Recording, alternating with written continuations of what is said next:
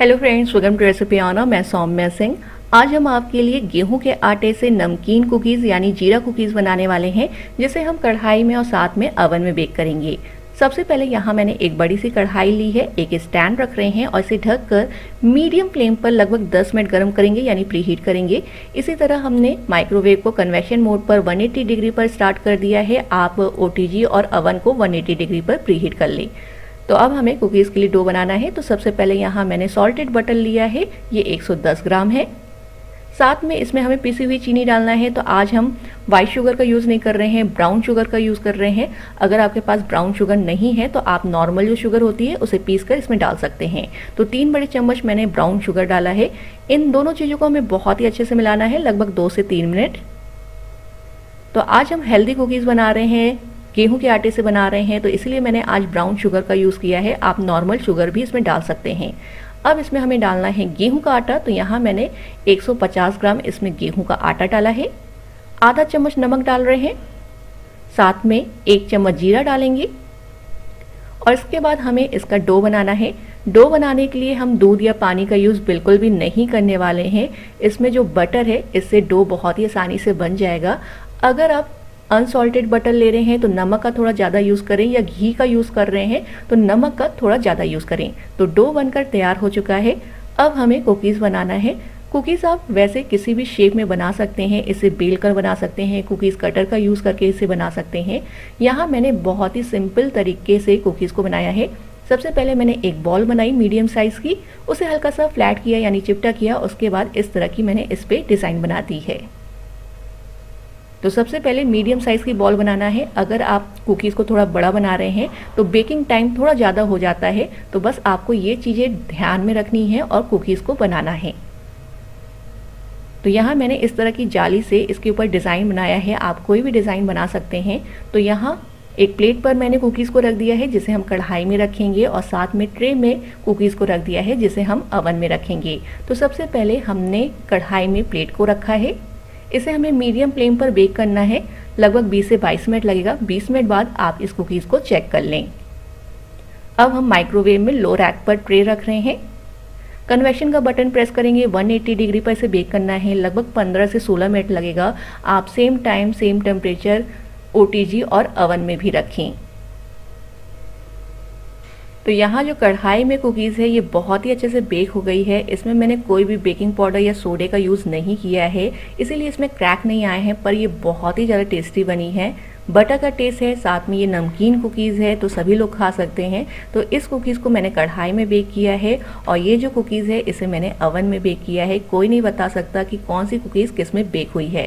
तो इसे आपको ठंडा करना है एयर टाइट डिब्बे में स्टोर करके रखना है और इस कुकीज़ को इन्जॉय करना है।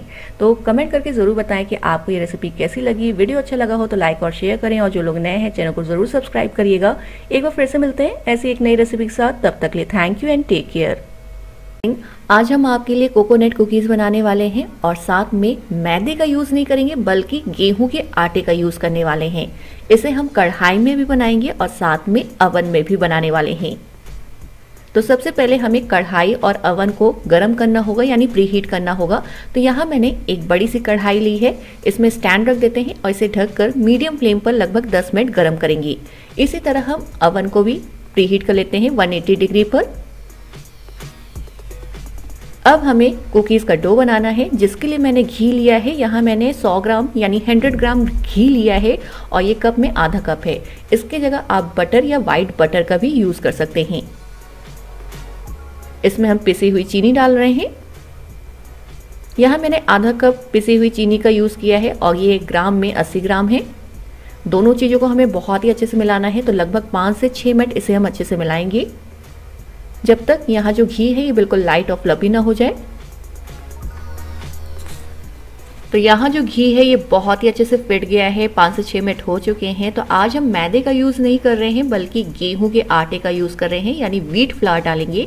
तो इसमें हम 150 ग्राम वीट फ्लावर डाल रहे हैं, और ये कप में एक कप प्लस एक चौथाई कप है। इसी के साथ इसमें हम गरी का बुरादा डाल देते हैं, क्योंकि ये कोकोनट कुकीज़ है। तो यहाँ मैंने 50 ग्राम लिया है, जिसमें से मैंने लगभग थोड़ा सा कोकोनट पाउडर जिसे हम करी का बुरादा कह रहे हैं, इसे बचा लिया है, जिसे हम ऊपर से लगाएँगे। एक चम्मच मैंने इसमें बेकिंग पाउडर डाला है और आधा चम्मच मैंने बेकिंग सोडा डाला है। अब इन सभी चीज़ों को हमें बहुत ही अच्छे से मिलाना है और इसका एक डो बना लेना है।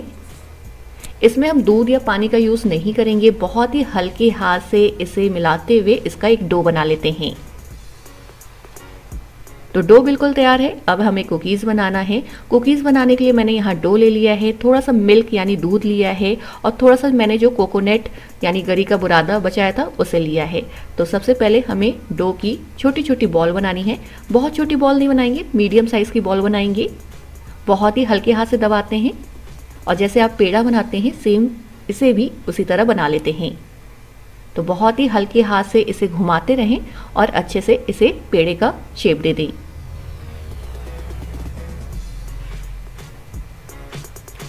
तो अब इसके ऊपर हम दूध लगा देते हैं और इसके बाद इसके ऊपर गरी का बुरादा लगाना है।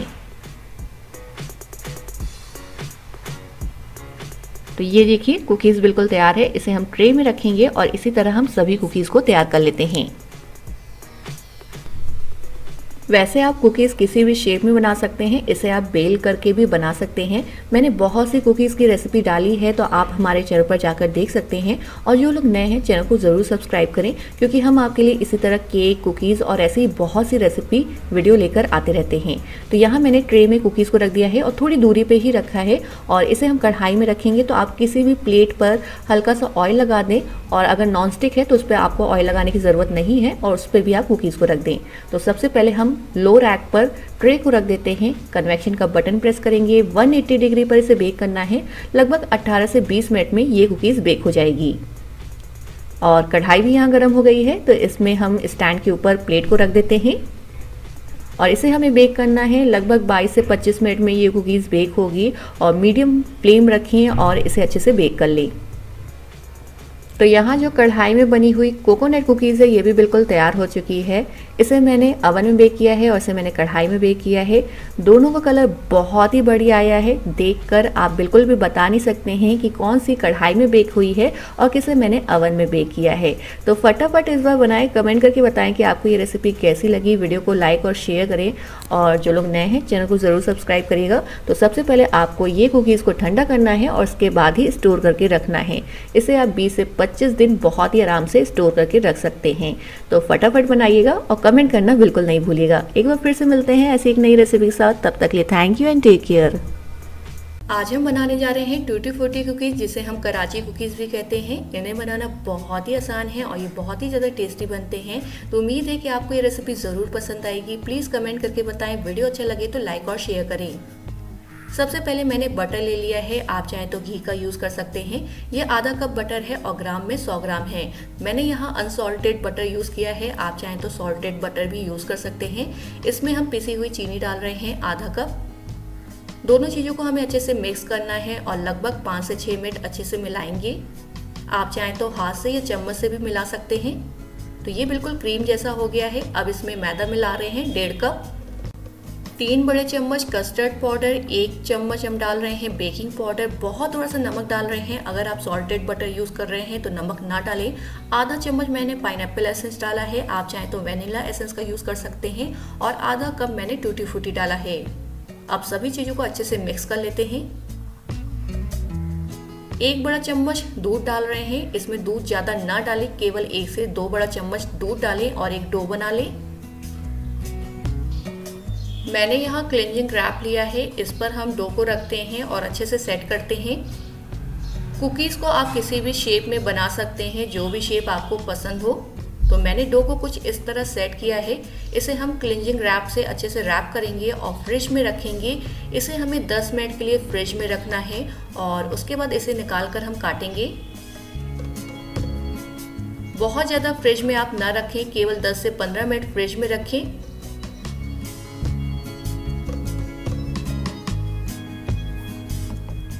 डो को मैंने फ्रिज से निकाल लिया है और ये बहुत ही अच्छे से सेट हो गया है। अब हमें इसे काटना है। तो मैंने नाइफ लिया है और कुछ इस तरह हम कुकीज़ को काटेंगे। इसी तरह हम सभी कुकीज़ को काट लेंगे और इसे हम ट्रे पे रख देते हैं। कुकीज़ को हल्का सा मोटा काटना है तो यहाँ मैंने ट्रे पे कुकीज़ को रख दिया है। आप चाहें तो इस कुकीज़ को कढ़ाई में बेक कर सकते हैं। मैंने माइक्रोवेव में लो रैक रखा है और इस पर ट्रे रख रहे हैं। माइक्रोवेव को मैंने कन्वेक्शन मोड पर पहले से प्रीहीट कर लिया है 180 डिग्री पर। एक बार फिर से हम कन्वेक्शन का बटन प्रेस करेंगे। 180 डिग्री पर इसे बेक करेंगे। लगभग 15 से 18 मिनट लगेगा इसे बेक होने में तो मैंने स्टार्ट कर दिया है। आप चाहें तो कुकीज़ को कढ़ाई या भगोने में भी बेक कर सकते हैं। तो यहाँ जो हमारी टूटी फूटी कुकीज़ है, ये बनकर बिल्कुल तैयार है। अभी ये गर्म है तो इसे हम कूलिंग रैक पर रखेंगे, जिससे ये अच्छे से ठंडी हो जाएगी।